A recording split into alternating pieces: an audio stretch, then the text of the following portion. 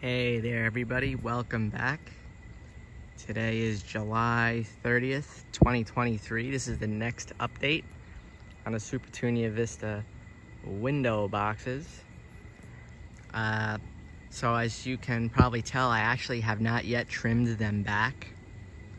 The main reason why is they started to really look nice over the last uh, week or two. And then the second reason why is there's been a couple of birds nests in them and I really didn't want to disturb the birds. They just hatched. I figure you just wait for the birds to, you know, leave the nest and then, you know, then you can cut them back. Uh, as you can see, they're gigantic, almost to the point where it looks like you're gonna have to start cutting them with hedge trimmers. Uh, we'll go up here. Start on the right side first. So the first one here, uh, even though I trimmed the box hedges back, they've already more than touched them. Gonna have to trim them back or as I said, I'm just gonna have to cut the Supertunies back kind of like as a midsummer reset. Uh, they're really, really massive. And again, I, even though I like the color of the black cherry, it's I would say I would recommend not mixing the colors like having light and dark colors because it seems to not make it look like it's as full even though it really is. And there's the blue skies it's probably my favorite color. I have the drip system working right now. Haven't been fertilizing for the last two weeks believe it or not because I anticipated that I was going to be cutting everything back so I decided to stop fertilizing um, but I'm gonna start that up again next week because I anticipate by next weekend I should be able to cut them back. So now we'll go over here to the railing, which definitely looks great. Really, really, really filled in. And I noticed that at different at different times of the day, they look better. It depends on where the sun is in the sky. I noticed they look better in an early sun compared to in a later sun. It just gives them a different glow, if that makes sense. But they are really, really, really massive. I haven't seen too many problems with insects. I don't see any holes in the flowers from, you know, uh, various different types of caterpillars. That's typically what'll happen. You'll have budworms because a moth will lay eggs in here. Caterpillars hatch, and then they just eat all the flowers. So everything's looking nice really full, especially this one here.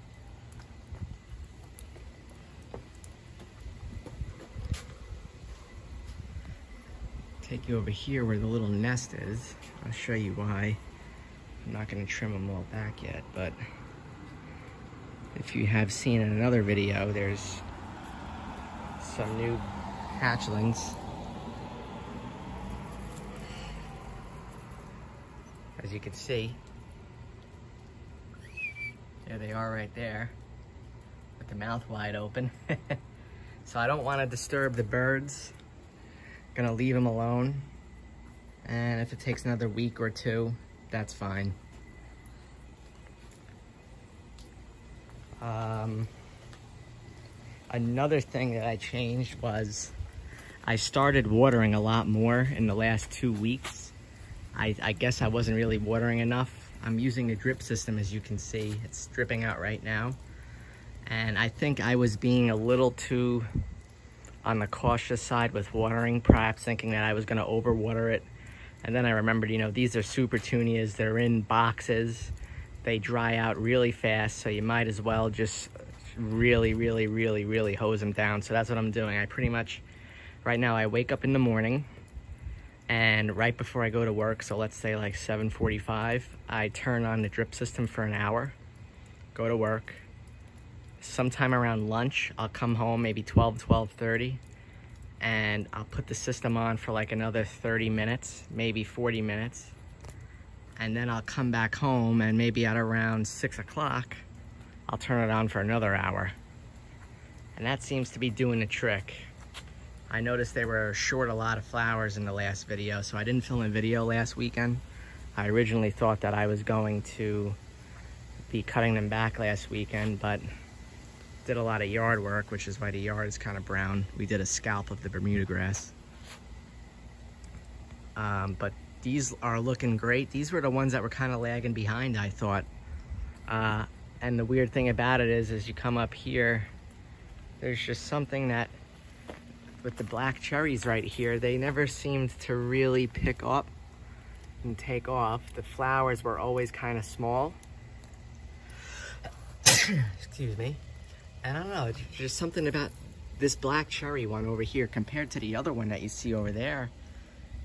The one over here, it's like it's a, like its growth has been stunted. So you can see a lot of flowers have kind of just um, rotted away like this right here. Um, but another thing you can see is if you come down here, you see all these weeds growing? That's because I'm always watering right there. So you'll see a bunch of weeds and you won't see as much. Then you see a bunch of weeds and then you see nothing. And that's just from all the fertilizer coming down at it, at it every single time you water. Fertilizer, water is coming down and giving this whole place a great area to, uh, to grow. I mean, and look at this, the Supertunias are touching the weeds. I mean, really, it goes to show you just, they just do not stop growing.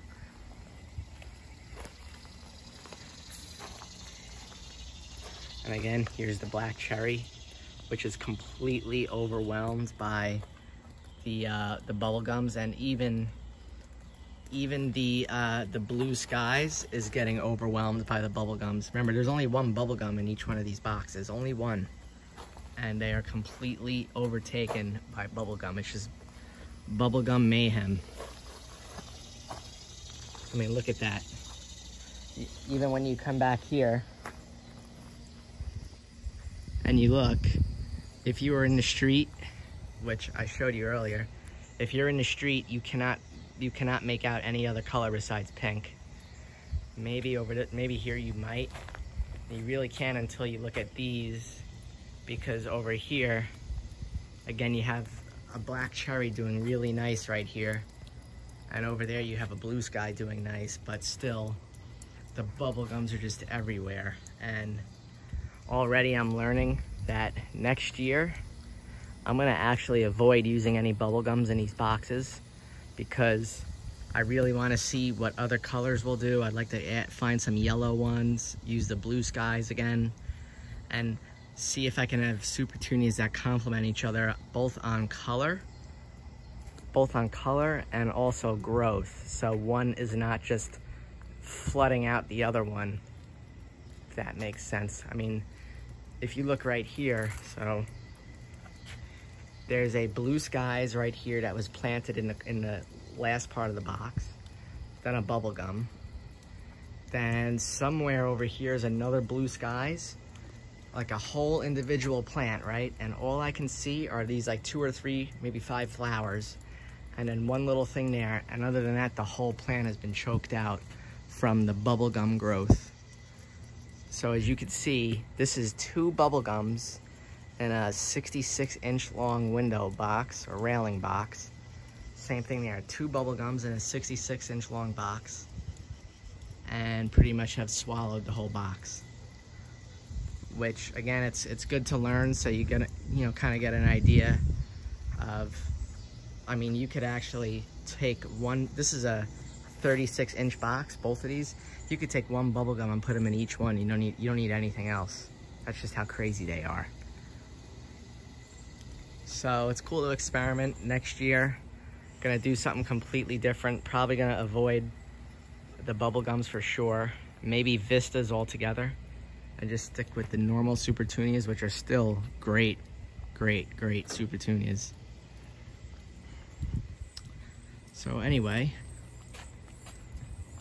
I guess that'll be a wrap for this video, and that'll be the last video for August. We've been having lots of temperatures in the 90s, so Lots of water, it puts lots of stress on the plants, that's for sure. So, again, hope you liked the video. I might trim them back next weekend or the weekend after because they're, they're looking really good. So I don't know if I need to trim them yet. But in the meantime, uh, hope you enjoy it and make sure you tune in next time. Thank you.